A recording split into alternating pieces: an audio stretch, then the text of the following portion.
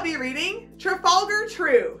Romper, stomper, bomper, boo. Tell me, tell me, tell me do. Magic mirror, did all my friends today have fun at play? Today I see Sophie, Nolan, Olivia, Aubrey, Charlotte, Joe, Jack, and Kate. Trafalgar True, written by Stephen Cosgrove, illustrated by Robin James. Far, far away, in a time of dreams and make believe, there was a curious country called Curium.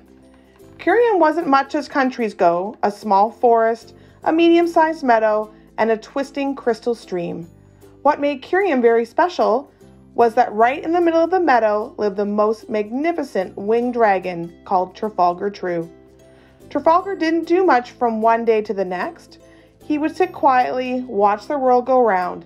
Trafalgar loved every living thing and watching. To him was the same as doing. Trafalgar would watch the flock of birds as they flew from tree to tree. He would watch a turtle or two as they crawled across the meadow.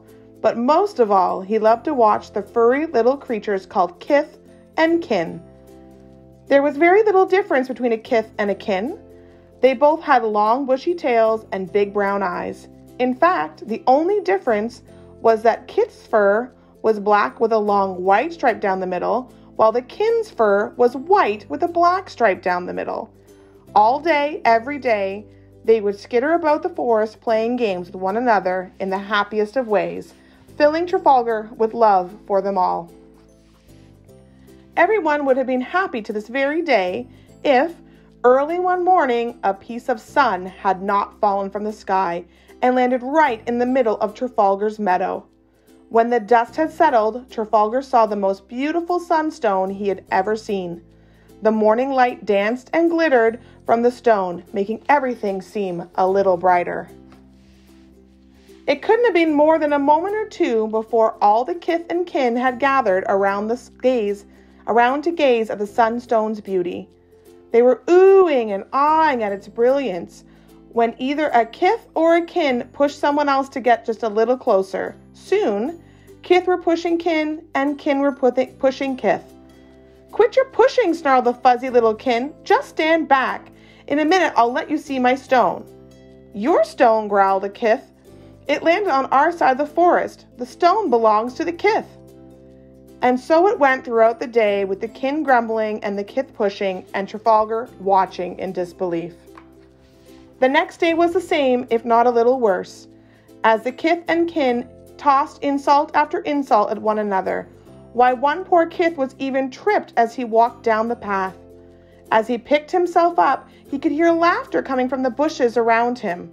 Dumb old kith, giggled the hidden kin. They think the sunstone belongs to them when we all know it belongs to us. Then, laughing and chuckling, off they scampered back to the meadow. Trafalgar True sat and watched unnoticed. Where before there was a pleasant little meadow filled with love, there was now nothing but a field of bitterness and jealousy. So saddened was he by this turn of events that large silver tears began to glide gracefully down his snout and fall softly on the ground. It wasn't that the kith hated the kin or that the kin hated the kith. It was just that each wanted to own the brilliance of the sunstone, and neither knew how to share. All day long, they were pushing and shoving as they tried to be the closest to the brilliant stone. The kith became so frustrated that later that very same day, they threw a vine over the stone and tried to drag it away. The kin, not to be outdone, threw a vine from the other side, and the two silly groups pulled and tugged for nearly three hours before they all collapsed, too pooped to pop.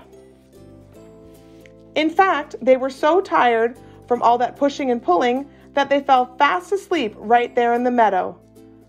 All, that is, save for a baby kin who stood before the stone and cried softly, I hate you, Sunstone. You're so pretty, but you have brought but all you have brought is sadness. I wish you would go back to the sun.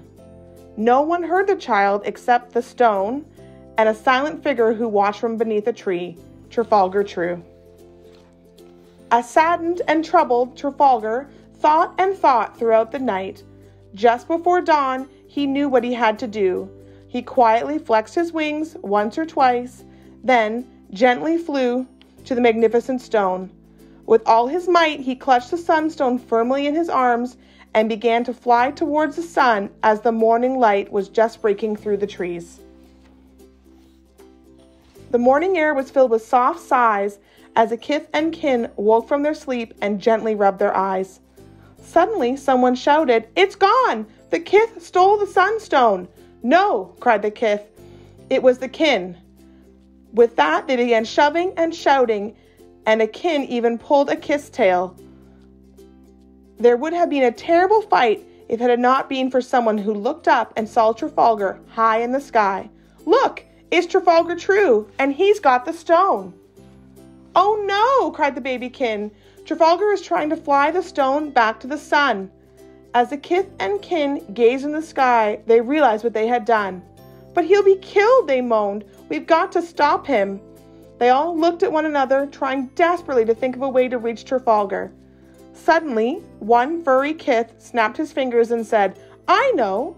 We must all shout together. With all our voices united, he will surely hear us. Together they formed a circle, and while holding hands, began to shout, Trafalgar! Trafalgar! For a moment it looked as though the plan was going to fail, but then Trafalgar heard the echo of his name. He slowly turned in the sky and looked down on the creatures below.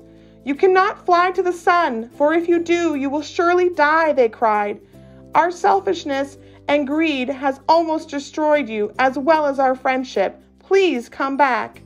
Trafalgar smiled softly and began to gently glide back to the land of Curium. From that time forward, kith and kin shared and shared alike in the meadows of Curium.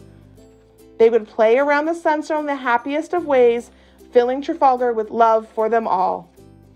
So when it comes to sharing with kith and kin or you, remember what you're sharing is the love of Trafalgar True.